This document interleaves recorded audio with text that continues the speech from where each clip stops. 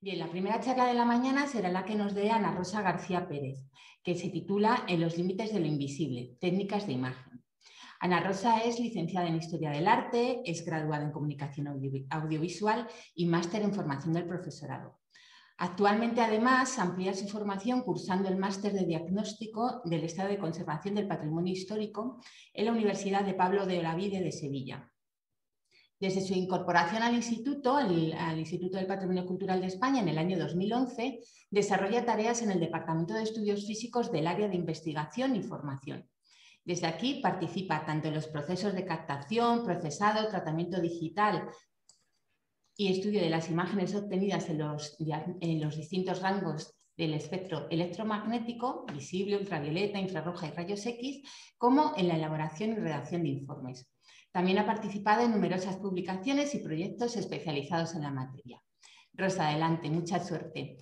Pues buenos días a todos. En primer lugar, eh, me gustaría dar las gracias a las organizadoras del seminario, a Cristina y a Leticia, y también a la coordinación de María José, y gracias sobre todo por la invitación para participar en este seminario. Eh, el título de esta presentación, En los límites de lo visible, técnicas de imagen, hace referencia a la aplicación de técnicas que se realizan en el Departamento de Estudios Físicos y que nos van a permitir acceder a información que está oculta en la visión directa.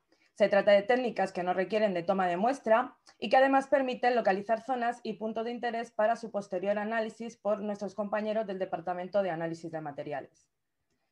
A modo de esquema, vamos a ver en primer lugar el tipo de iluminación usada tanto para la fotografía visible como para la fotografía infrarroja.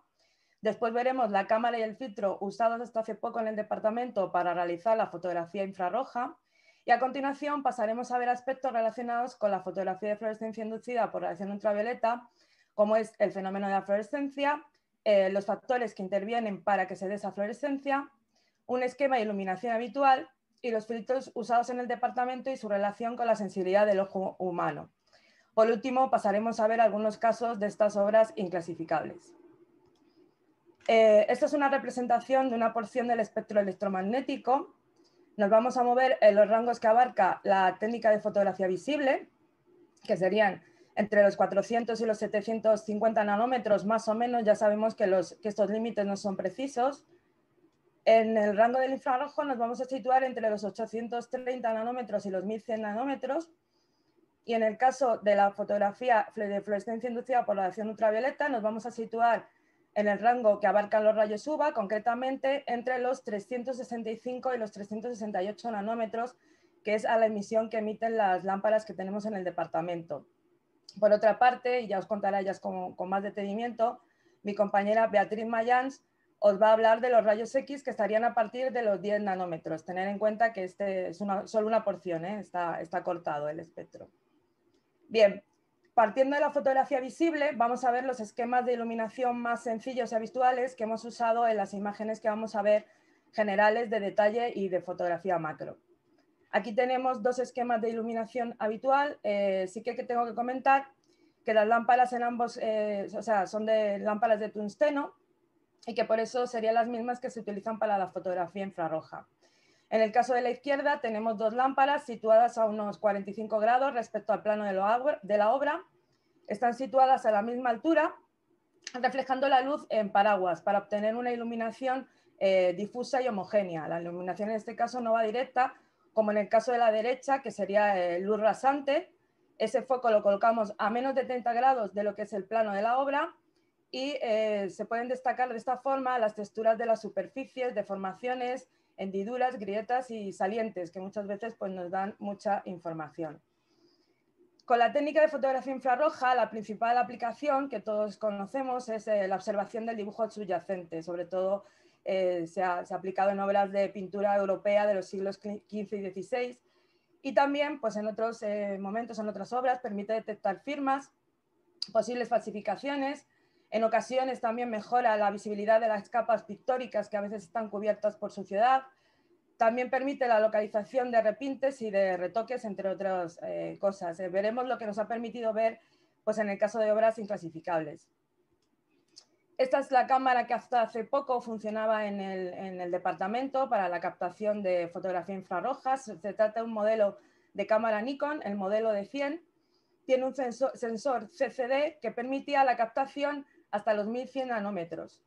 Eh, es cierto que también tenemos para lo que es la reflectografía infrarroja, y lo que pasa que no voy a entrar mucho en esta técnica, en esta presentación, porque desbordaría el tiempo que tenemos, pues para, para la reflectografía infrarroja tenemos una cámara que tiene un sensor INGAS, que abarca de los 900 a los 1700 nanómetros y va acoplado a un sistema de posicionamiento que se llama VARI, visión artificial aplicada a la reflectografía infrarroja mecanizada, que ese sería el acrónimo, y que también es un software. La principal diferencia entre la reflectografía y la fotografía digital en el campo infrarrojo sería el rango al que es sensible el detector de cada cámara. Bien, aquí vemos el filtro que usamos en la fotografía infrarroja, que como ya os he contado, corta 830 nanómetros y a la derecha podéis ver eh, la curva de transmitancia. Y para la fotografía de la técnica de fotografía de fluorescencia inducida por la acción ultravioleta, vamos a ver en primer lugar en qué consiste el fenómeno de la fluorescencia. Bien, los materiales pues, están constituidos por, átomos. Aquí, tenemos una representación muy simplificada de un átomo con sus dos orbitales y un electrón. Cuando los átomos absorben determinadas radiaciones en un rango de longitud de onda, sus electrones se, excitan y se desplazan a orbitales de mayor energía, lo que provoca inestabilidad en el átomo. Para recuperar la estabilidad, los electrones vuelven a su orbital de origen, como veis, su estado normal, liberando el exceso de energía en forma de radiación cuya longitud de onda es más larga que la longitud inicial. En este caso, eh, entraría radiación ultravioleta y se emitiría eh, en el visible, por eso lo podemos fotografiar. ¿Qué factores dependen para que, o, influyen para que esa fluorescencia eh, podamos verla? Pues la propia naturaleza química del material, la cantidad de material que tengamos, las mezclas, las impurezas, las alteraciones producidas por el paso del tiempo e incluso la fluorescencia emitida por el material adyacente. Por eso decimos que esta técnica es bastante compleja a la hora de estudiar y que permite eh, diferenciar zonas de diferente naturaleza, pero no nos permite caracterizar materiales.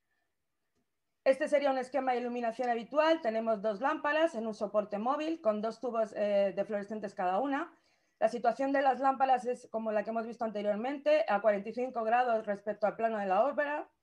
Y se dirige el haz eh, de forma directa al objeto, procurando, como veis aquí, una iluminación homogénea en toda la obra. Este es el tipo de el equipo de iluminación que tenemos. Eh, las eh, lámparas que veis aquí a la derecha emiten a 365 nanómetros. Estas de aquí emiten a 368 nanómetros y también hay que tener en cuenta que aunque la radiación, eh, bueno, pues evidentemente la radiación ultravioleta no es visible para el ojo, estas lámparas emiten en la zona visible, la zona azul, que estaría precisamente hecha para proteger el ojo, ya que lo que es el, se contrae la pupila con la luz visible y minimiza la penetración de la radiación ultravioleta. Sin embargo, siempre insistimos en la conveniencia de usar este tipo de gafas especiales. Son gafas de protección contra la radiación ultravioleta y a la hora de trabajar con ellas son, desde mi punto de vista, fundamentales. Vamos a ver un par de filtros que se usan con esta técnica. En este caso, este filtro cortaría la ultravioleta reflejada, deja solo el paso, como veis aquí en esta curva, de transmitancia eh, entre los 400 y los 700 nanómetros. En este otro caso también se usa eh, un filtro amarillo que corta a 520 nanómetros y de alguna forma favorece lo que es la visión del ojo humano. Y esto tiene que ver con esta curva de sensibilidad de nuestro ojo. Digamos que tenemos eh, una mayor sensibilidad en la zona de los verdes, como estáis viendo aquí. De hecho, el mayor pico estaría hacia 555 nanómetros nuestro, el filtro que he puesto anteriormente, el amarillo, cortaría toda esta eh, zona de los azules, eh, por lo tanto nos permitiría discriminar un poquito mejor, quitaría esa dominante azul que suele predominar en las fotografías eh, que vemos con esta técnica. Vamos a pasar a ver una serie de, mm, ya de lo que son pues los inclasificables que hemos llamado, en este caso serían una serie de arquetas. Sí que me gustaría aclarar que eh, no se aplican sistemáticamente todas las técnicas o todas las eh, obras que entran en el departamento, no es posible. Hay que razonar las peticiones, hay que ver lo que se está buscando y aplicar en función de, pues un poco de las necesidades, ¿no? Eh, hay piezas que sí que requieren, pues aplicar toda la batería de lo que son las técnicas que tenemos en el departamento. Bien, yendo ya así a este tipo de, piezas, eh, bueno, las arquetas han pasado una colección importante por el instituto, tienen diferentes usos, en muchas ocasiones pues para guardar reliquias como joyeros, cajas para documentos, cajas para juegos, etc. En este caso sí que tengo que aclarar que muchas de las piezas que voy a ir poniendo, mi compañera que va a continuación, Beatriz Mayans, que va a hablar de rayos X y de radiografías, va a poner muchas de, los ejemplos que pondré yo también, pero, pero solamente con la técnica radiográfica y todo lo que se observa en ella. En este caso, en esta arqueta de tipo italiano, lo más importante desde, desde las técnicas que os he presentado sería una fotografía macro como esta, para ver estos restos de pigmento, pigmento rojo y azul que queda en, en esta superficie. En esta obra pasaría lo mismo, es una arqueta de tipo flamenco, y eh, quedan restos de dorado, como veis aquí, algunos restos de azul, también de verde, algún recubrimiento que bueno, pues sería para eliminar porque está aquí como agolpado en esta zona y, bueno, pues sería interesante para luego eh, poder eh, llevar a cabo la limpieza. Hay otras obras de este tipo que son con la técnica de talacea, que son estas piezas que van incrustadas y que van generando esta decoración geométrica eh, bajo la radiación ultravioleta, pues se ven eh, algunas piezas que emiten o bien, como, en este caso, de color más eh, brillante, digamos, o con una tonalidad azulada. en definitiva, al comparar con las piezas que hay alrededor, se ven distintas porque son de distinta naturaleza. tienen que ver con la intervención y con la incrustación de piezas, pues simulando lo que sería esta, decoración. En esta ocurre lo mismo, quizás se ve de una forma más clara en la tapa, Aquí tenemos estas dos piezas insertas. Esta otra pieza también sería de material distinto. Y en esta se ve ya muy claramente. Es la base de, la misma arqueta, este ajedrezado. Se detecta de golpe qué piezas eh, son de material eh, distinto completamente. Esta arqueta es una arqueta muy, pues muy bonita, debió de ser en su momento porque estaba toda ella de pan de plata corlada, eh, imitando lo que era el falso oro y la tapa eh, interior tiene esta decoración de pan de plata, pero en este caso no estaría colgada. Aquí tenemos una llamativa escena en la que, bueno, pues no, no, hay, eh, no, hay, no se ponen de acuerdo en, qué está representando esta escena, eh, que puede ser una coronación de la Virgen o la entronización de Betsabé por su hijo el rey Salomón. Y digo que, bueno, pues que, que no hay una, un acuerdo en ese sentido porque estos tondos no ayudan mucho eh, aquí solamente hay una decoración floral que parece que no viene muy a cuento. En definitiva, pues bueno, pues eh, las restauradoras de esta arqueta, Maribel Herráez y, Lola Fuster, estuvieron investigando acerca de esto y bueno, pues de momento se quedó, se quedó así. Bien, eh, decir que bueno, la, arqueta está muy intervenida y que bueno, que la plata en su momento ennegreció bastante y que fue confundida con, con suciedad y se limpió y bueno, pues cuando llegó al instituto ya llegó bastante, bastante perdida. Bajo la radiación ultravioleta vemos eh, esta fluorescencia en esta zona, bueno, aparte del recubrimiento que, no sería muy homogéneo, bueno, estos son, gasas de sujeción, de fijación de lo que es el color. En este caso, pues aquí hay unas fluorescencias que nos están llamando eh, la atención acerca de un material que sería, eh, bueno, pues analizado por nuestros compañeros del Departamento de Análisis de Materiales. Este es un pequeño ejemplo de reflectografía infrarroja, como os he comentado antes, pues solo pues para ver eh, lo que os decía, el dibujo subyacente. Queda un poquito, hay un poquito de dibujo subyacente en el rostro de este personaje masculino. Eh, como veis aquí, pues el rostro en pintura era un poquito más ancho que lo que, lo que vemos en, la fotografía infrarroja, en la reflectografía infrarroja, perdón.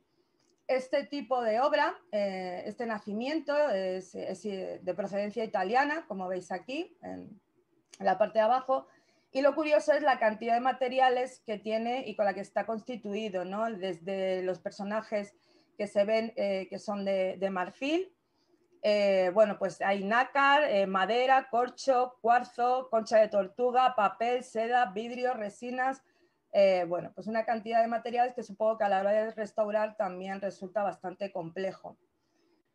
Bajo las imágenes de radiación ultravioleta quisimos ver eh, hasta qué punto pues, podíamos también distinguir o bien eh, materiales insertos de diferente naturaleza eh, o bien algún otro tipo de detalle. En este caso todas las figuras de marfil no parece que nos dieran ninguna fluorescencia llamativa.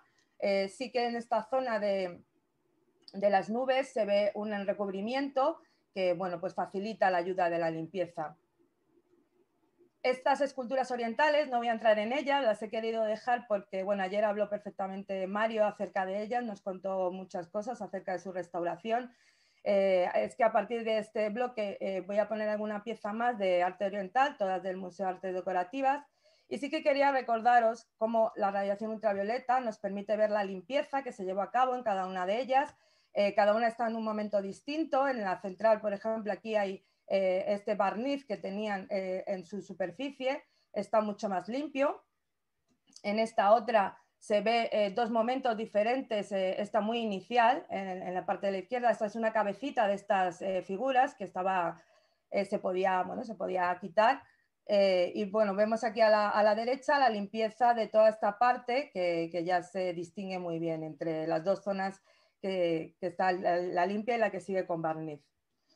Esta obra es una escultura también oriental, bastante grande, de un metro doce de alto más o menos, de madera, eh, de 50 centímetros también en su parte más, más ancha. Y eh, encontramos en, esta zona de decoración del dragón, que bajo la radiación ultravioleta pasaba desapercibido aquí en el visible, pues había unos restos de una intervención anterior a su llegada al instituto y además hay un recubrimiento en esta zona, en estas lagunas, eh, que veis aquí, que hay un recubrimiento amarillento que no ocupa toda la laguna y en, lo que es la imagen visible pasaba totalmente desapercibido.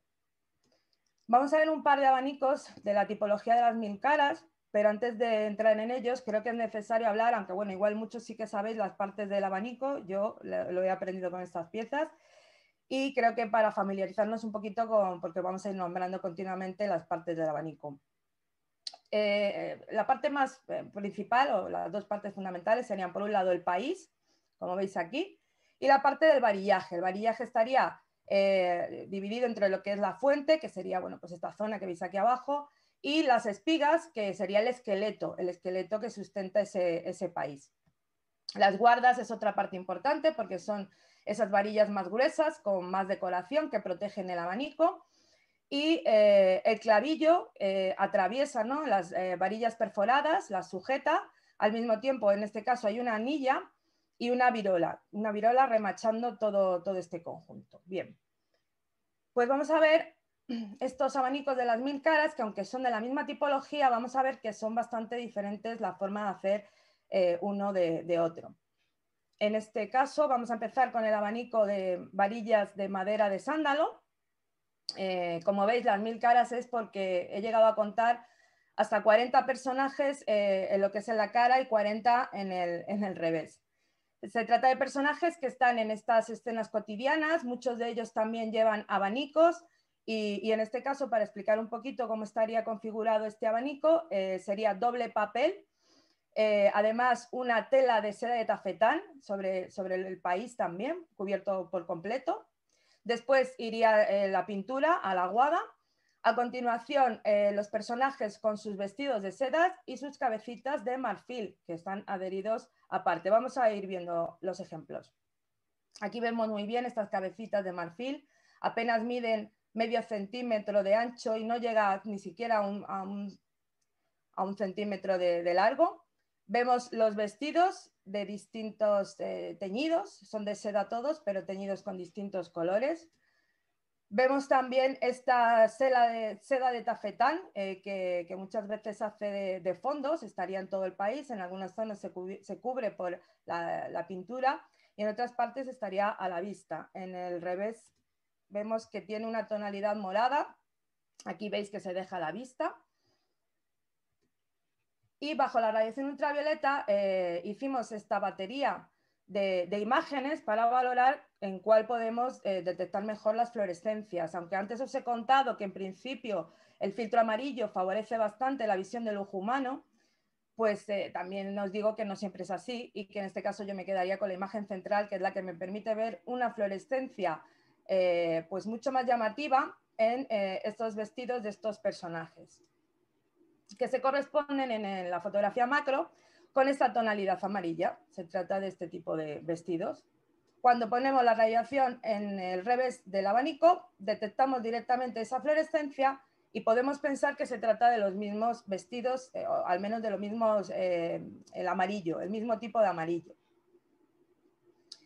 Con la eh, fotografía infrarroja vimos otro detalle distinto del anterior, o sea, del siguiente abanico que vamos a ver, que tiene que ver con las transparencias de los vestidos que nos permiten ver las arquitecturas por detrás, es decir, estas figuras no tienen reserva en, este abanico, cosa que es lógica, son 40 personajes ¿no? para, meter en, el abanico y no, no ha quedado una reserva. Veis también esta parte de los suelos que, se, están pintados debajo de los vestidos de los personajes. Y bueno, como curiosidad, pues eh, que las líneas de este suelo tan rectas eh, son invisibles bajo la radiación ultravioleta, o sea, perdón, eh, radiación infrarroja. Aquí vemos un detalle eh, en el que se aprecia mejor esta parte de las arquitecturas. Y vamos ahora a ver el abanico y la forma de hacer del abanico de bambú lacado en negro. Ya de entrada solo tenemos siete personajes en la parte de la cara y en el revés pues una decoración eh, de motivos florales con un pájaro bastante enorme en esta zona de aquí. estaríamos hablando de un abanico que estaría conformado por doble papel pintado a la aguada y no habría seda de tafetán sobre, sobre este papel. Vamos a ir viendo. Estarían luego los personajes igualmente con sus cabecitas de marfil y sus vestidos de seda, pero como veis aquí, en esta laguna, no se ve la tela de seda de tafetán cubriendo el país. Vemos un detalle más, más próximo de una pérdida y otra pérdida, a lo mejor que esta fue eh, una intervención anterior a, la llegada al instituto en esta zona del abanico.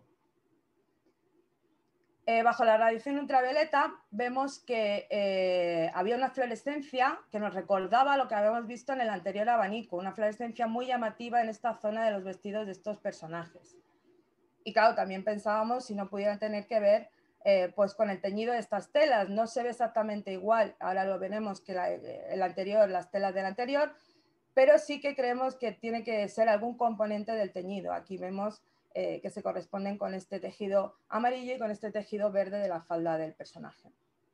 Comparándolas con las anteriores radiaciones que hemos visto en las anteriores imágenes, vemos que la fluorescencia es mucho más intensa eh, en este primer abanico de madera, pero que sin embargo yo sigo considerando que, sí que tiene que ver con el teñido y que esto se, se, lo pasamos a nuestros compañeros del Departamento de Análisis de Materiales para llegar a, la conclusión de, qué colorante estamos hablando en este tipo de, sedas. Vamos a ver otro detalle que tiene que ver con lo que anteriormente también he comentado, las arquitecturas en, este caso, en este eh, abanico, como se ven, no continúan por debajo de, la tela que se ve levantada en este personaje. Al menos aquí parece que se interrumpe lo que es el dibujo por detrás la fotografía bajo radiación infrarroja, vemos que no nos permite ver esas arquitecturas bajo los, vestidos de estos personajes. Sin embargo, bueno, igual vemos que en este caso las líneas del suelo eh, no son tampoco invisibles bajo la radiación infrarroja.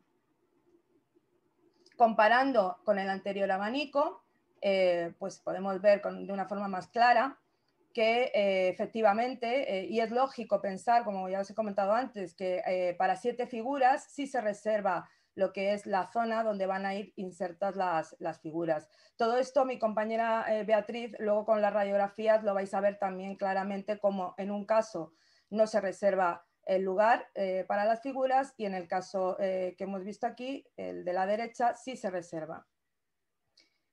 Vamos a ir terminando con una, pieza muy, muy llamativa, eh, es una insignia de guerra, llamativa sobre todo por el tamaño.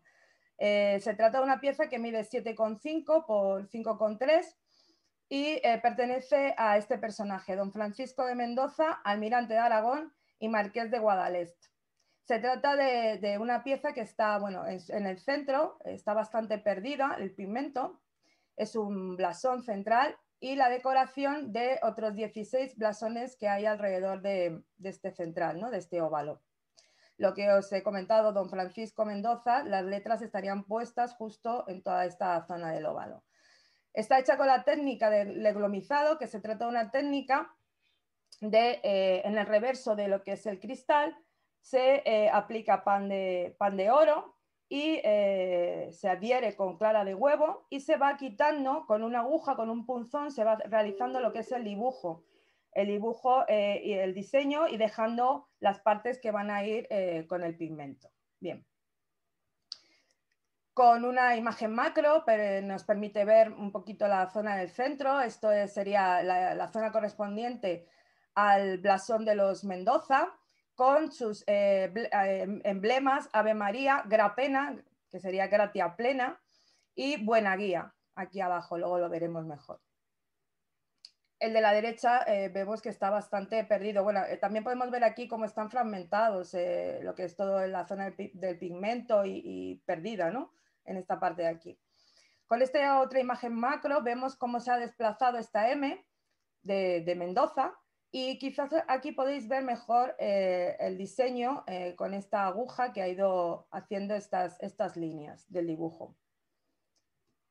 En esta imagen con luz rasante, la, parte, la, imagen de abajo, podemos ver alteraciones o suciedad de la superficie de una forma mucho más clara que con esta imagen de arriba, que es una iluminación más homogénea. En esta imagen de nuevo rasante, la de la derecha, y con luz eh, difusa homogénea, la de la izquierda, vemos eh, el diseño de la corona, aquí sí se aprecia mucho mejor que la, imagen de al lado, y eh, una punta con una cinta que nos va a ir dando pistas acerca de la decoración alrededor de este, de este blasón.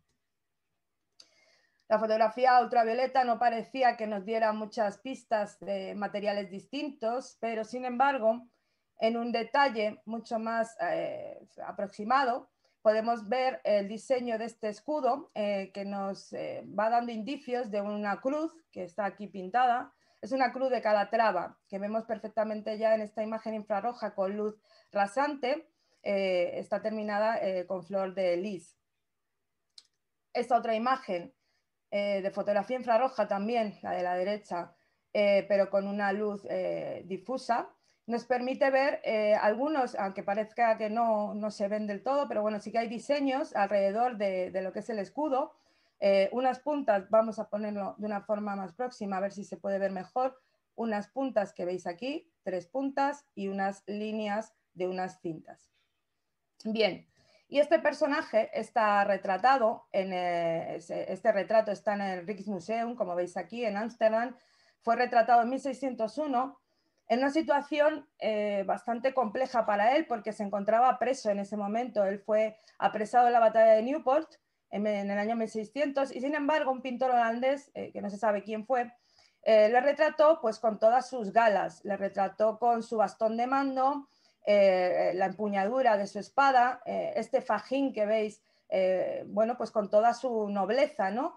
Y además tiene un joyel que veremos ahora que de alguna forma a mí me recuerda un poquito a la insignia que estamos viendo y también me gustaría que nos fijáramos después en estos escudos de la parte superior.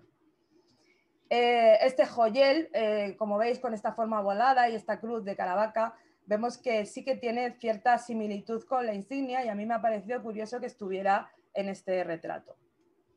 Como veis los escudos, el de la derecha sería el de la familia Mendoza, con los emblemas Ave María, Gratia Plena y estas puntas que ya estábamos viendo en el diseño del blasón de, la insignia que estábamos viendo. Y eh, tenemos a la izquierda este escudo que sí que tiene, espero que lo podáis ver, la cruz de Caravaca con estas terminaciones en flor de lis. Esto pertenece eh, a la familia de, la mujer de, este almirante de Aragón, que estos títulos le vienen por ella. Eh, se casó en 1584 eh, con María Ruiz de Liori Colón y Cardona, que es la hija de Sancho de Cardona. Eh, él era almirante de Aragón y marqués de Guadalest. Bueno, como vemos aquí, hay una representación simplificada de ambos escudos. El de la izquierda sería el escudo de la familia de Mendoza y el de la derecha el escudo por parte de marqués de Guadalest y almirante de Aragón. Y con esto, pues eh, yo ya termino, daría paso a mi compañera Beatriz, eh, bueno, cuando la, presenten y sobre todo quería dar las gracias a mis compañeras del Departamento de Estudios Físicos y a Tomás Antelo y Ángeles Anaya, que siempre los recordamos porque nos han dejado un gran legado en el departamento. Eh, gracias a todos por vuestra atención. Rosa, muchísimas gracias. Enhorabuena por la presentación. La verdad es que ha sido de lo más ilustrativa y, me, gusta mucho que se, que se, sepa que todas estas técnicas que, normalmente asociamos a las, a las, artes mayores son también aplicables a, las artes decorativas y el diseño, que es lo que eh, la temática que, centra este seminario y que además tienen tantísima utilidad. También he de decir que yo que conozco las piezas, nunca jamás las he visto con tan, eh, en ese tamaño y con, esta, con estas posibilidades de, de apreciar los detalles. Así que bueno, enhorabuena y muchas gracias.